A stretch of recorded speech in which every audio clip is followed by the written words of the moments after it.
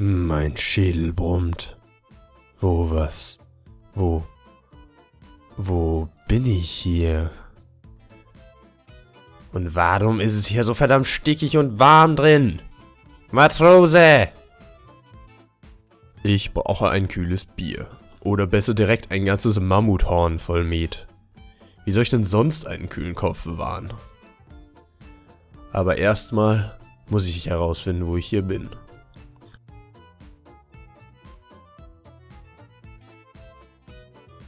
Bei Lokis Lachsgestalt ist das heiß hier.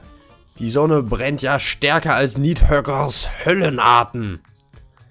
Gibt's denn hier kein Wasser? Es einen kleinen Fjord? Das ist ja noch schlimmer als Wienland, von dem Onkel Graubart immer erzählt. Ah, da ist ja ein Fluss. Erstes Problem gelöst. Aber wie komme ich jetzt wieder nach Hause?